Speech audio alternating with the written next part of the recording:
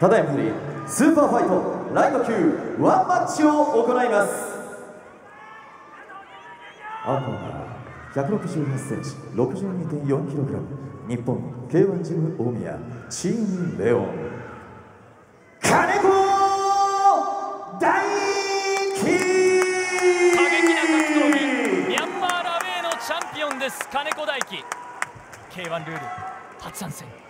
赤コーナー172センチ 62.4kg 日本フライスカイジ。ム K1 ワールドグランプリライト級王者。林健太ラウェイを K1 のチャンピオンはどう迎え撃つのか？ライト級のチャンピオン林健太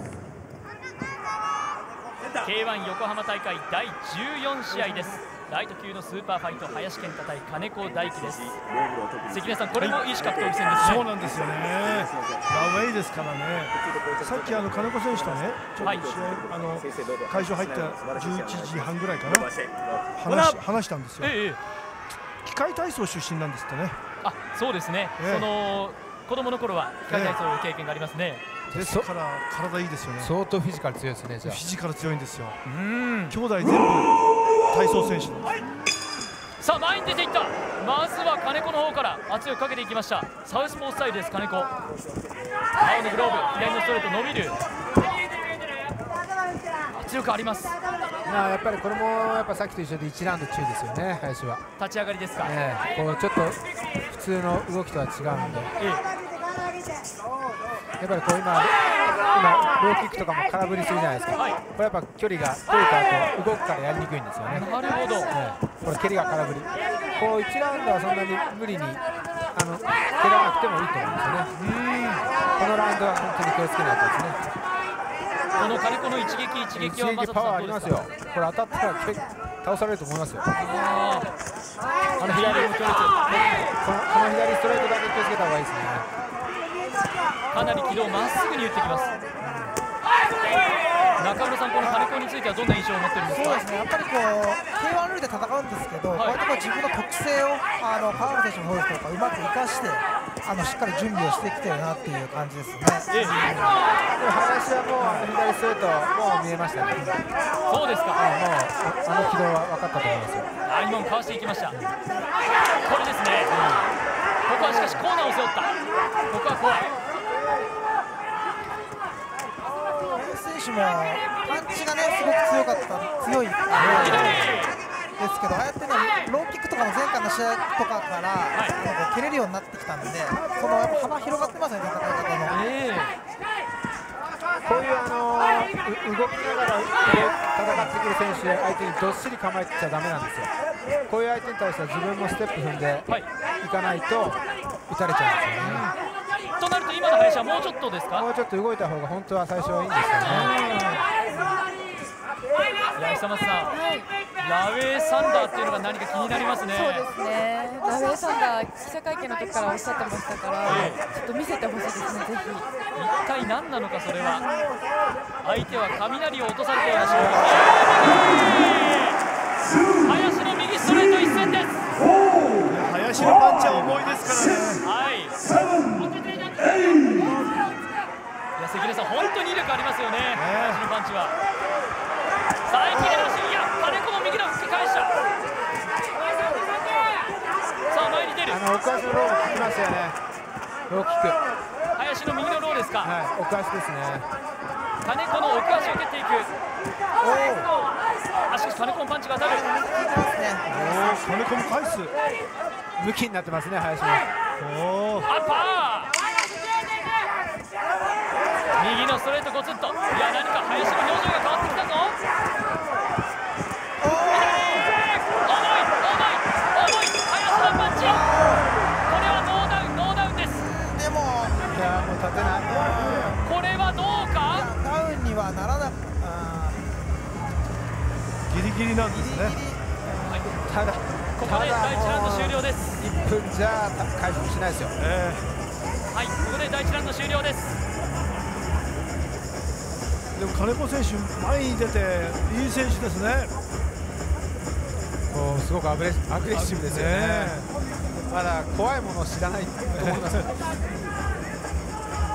これ経験積んできたら、ね、K1 の経験積んできたらいい怖いですね。そうですねただ逆にこういろいろ知ってきちゃうとああの大胆さが消えちゃうかもしれない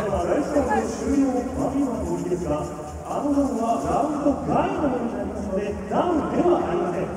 さあ先ほど第1ラウンド終了間際に金子が倒れましたがあれはダウンではないという判定。第2ラウンドにこのまま入ります。第1ラウンドでは林が一度金子からダウンを取っている。久松さんでもこれ金子かなりダメージありそうですよそうですね。ね。あでもね普通じゃないルールですからねミャンマーのでも。ええそこで勝ち上がってるわけですからね。こう林はしっかりガード固めて奥足のローキック蹴っていくと。倒れた背中から倒れた。もうそんなに軽いパンチでしたけどねもうダメージが溜まってますよ。ね蓄積したダメージ。ももう足元をフラフラしてますよ。さあ金子は一気に行くか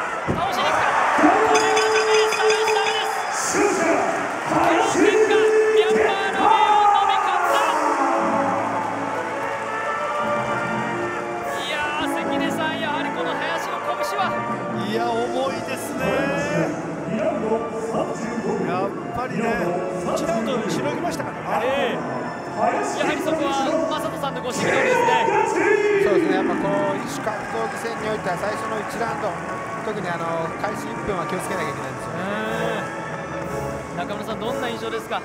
そうですね、まあ、やっぱりやりにくいとかリズムの違いとかはあったと思うんですけど、ええ。やっぱその中でもねしっかりこうできる攻撃から組み立てていって最後は倒しきって、うん。やっぱ林選手もチャンピオン取って試合を重ねていく中でねどんどんこう貫禄というか、うんあのチャンピオンらしくなってきたなっていうのを感じましたね。久松さん、はいただこの金子の一撃一撃やっぱ重かったですよねそうですね。あの林選手の試合は毎回こうヒヤヒヤしちゃうっていうのあったじゃないですか。ええ今回もちょっとだけそれはあったんですけど、まあさすがチャンピオンですね。ここは2ラウンド35秒という形で林の KO 勝利となりましたいや正人さん、本当にもうこれでもう KO だらけという大会になってますそうですねこんなこともあるんですね。いやこの後またね3つ4つありますけど、ええ。この後も多分 KO 続くんじゃないですか、なんかそんな感じですよね。えタケルも木村稔も登場しますからね。すごい14試合で10 KO ですよ。はい。これ予予想以上に時間巻いてるんじゃないですかこれ。すぐ終わっちゃいますね試合が。ええ。まあお客さんたちはいいお酒を飲みそうですねこれはそしてこの KO ボーナスが送られるというのもこれがだから10回目ということになります。今日の試合。こうやっぱ KO ボーナスがつくと選手は燃えるんですよね。あそうですか。燃えますよ。それは倒せばもらえるんですから、ええ。その思いがやはり、まあ、パパでもあります林にもきっとあったことでしょう。そしてこの金子を打ち砕いて今 KO ボーナスからマイクをその手に持ちましたすみません、いつもたくさんの応援ありがとうございます。え前回8月、デニス選手に倒されてしまって、もう6歳になる長男が何が起こってるか理解し始めてるので、すごい泣かせてしまったから、圧倒的な勝利をと思ったんですけど、ちょっと危なっかしかってすみませんでした。でも、レンドアルト、パパかっこよかったやろ、強かったやろ。KO ボーナスで家族でちょっとゆっくりしたいと思います。ありがとうございました。まあ、やはりそこにも触れる部分がありました。中村さん、ただこれまた一つこの勝ち星重ねたことでこれからの林さらに楽しみですね。ね、ライト級もね、どうやっぱりね、あの選手たくさんいるんで、次の、まあね、タイトルマッチもこの後あると思うんで、挑戦者も考えていきたいなと思います。はい、この肩に光り輝く金色のベルト狙ってくるのは一体誰となるのでしょうか？ライト級。